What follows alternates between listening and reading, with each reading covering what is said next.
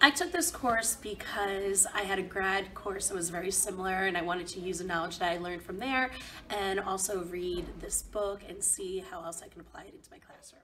Brain, I think the brain is fascinating and I think anytime that we can do anything that is brain-based learning and research-driven, I think that is what education is all about.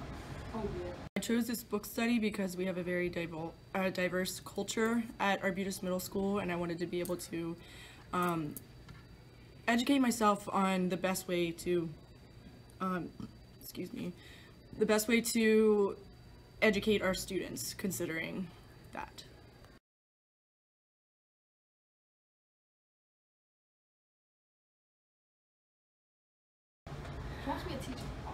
I got out of this book study ways to reach marginalized students in a more culturally responsive and research driven way.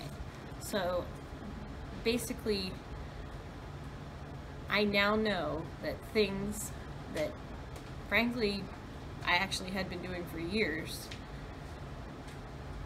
were research driven and I found out ways to better improve my classroom instruction so that students are more engaged with me and with my content material.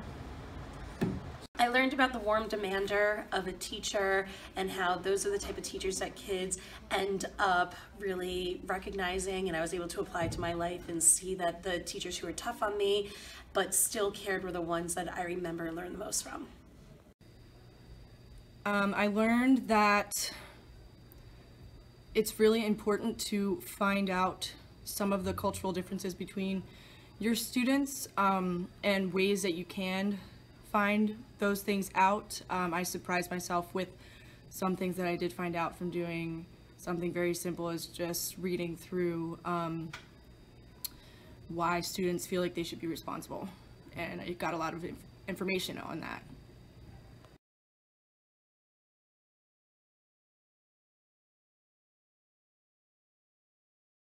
Um, I would recommend recommend this to a colleague because a lot of what we see in students who are who are raised in a different culture, whether that's one that's really close to home, like African American culture, um, we think that we understand their culture, but we don't. And um, a lot of times, their misbehavior or their you know seeming unmotivated is is not from you know them trying to be a bad kid, but it's really stemming from the fact that they really don't understand or they don't think that you care based on the way that you treat them due to the cultural differences. And I think that it's really important to note that because we have a lot of behavior um, issues in school. I would recommend this book to a colleague because I think with the demographics that we have in our school and the type of kids that we have, it's very relatable and you're able to gain a lot of knowledge and use it in your classroom. I would think that anytime you can read a book and then talk about it with your colleagues and spend more time with Shannon Johnson,